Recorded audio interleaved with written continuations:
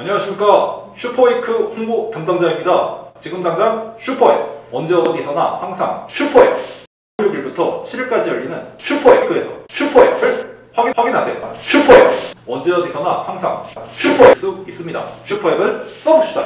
너도 나도 슈퍼앱 감사합니다.